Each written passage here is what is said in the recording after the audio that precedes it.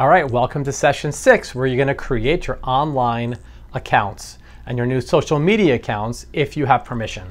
So this is exciting. It's time to start opening up your first few accounts and you should follow the recommended steps whether you're strictly starting an online business or an offline service business.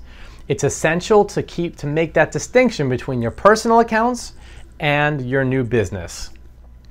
Just remember, uh, Google has new restrictions. If you are 13 years old, you may create an account. If you're under 13 years old, you may need to connect with your parents to have them create a, an email account for you using Family Link.